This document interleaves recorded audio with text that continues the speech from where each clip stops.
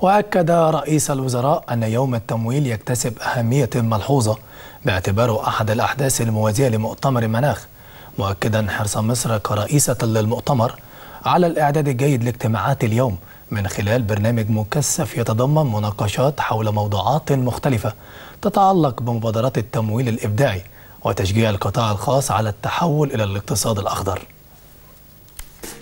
إن يوم التمويل لديه لديه أهمية خاصة حيث أنه يعتبر إن مصر باعتبارها رئيس المؤتمر تهدف إلى تقديم دفعة وتنظيم العديد من البرامج والاجتماعات التي تشمل تشمل مناقشات مرتبطة ببرامج ومبادرات التمويل والتي تسعى للتحول إلى الاقتصاد الأخضر وهذا يشمل التوجهات الاجتماعية والاقتصادية التي تضمن وضع أولويات لمنفعة ورفاهة البشر.